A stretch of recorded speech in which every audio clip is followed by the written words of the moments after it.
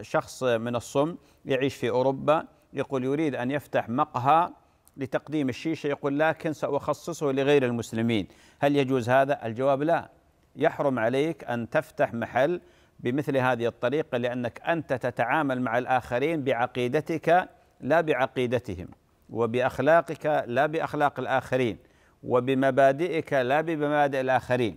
وقد ذكر الأطباء أن يعني التدخين لا سيما الشيشة سبب من أسباب جملة كبيرة من الأمراض ومن أشدها وأفتكها السرطانات. عافانا الله وإياكم.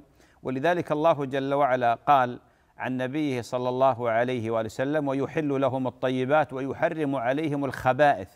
ويحرم عليهم الخبائث. النبي عليه الصلاة والسلام يقول لا ضرر ولا ضرار. وأيضا جاء في قول الله عز وجل ولا تقتلوا أنفسكم إن الله كان بكم رحيما ما يدل على هذا المعنى.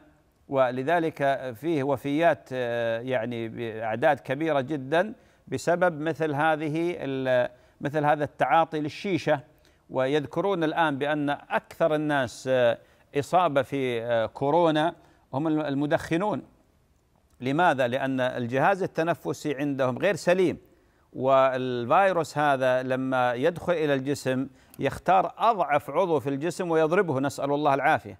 فإذا كانت الرئتين منخولتين بسبب الدخان وبسبب الشيشة طبيعي جدا أن يتأثر صاحب ال يعني ال ال ال الذي يتعاطى الشيشة أو يشرب الدخان.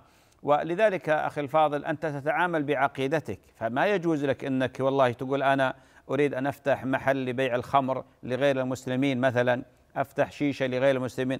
تتعامل بعقل لأنك انت تكسب من من هذا الشيء. ويجب على المسلم في أي مصر وفي أي عصر وفي أي زمان وفي أي مكان أن يختار أشرف الوظائف وأشرف التجارات وأشرف الحرف حتى يغذي نفسه وزوجته وأولاده ومن يعول الرزق الحلال الطيب.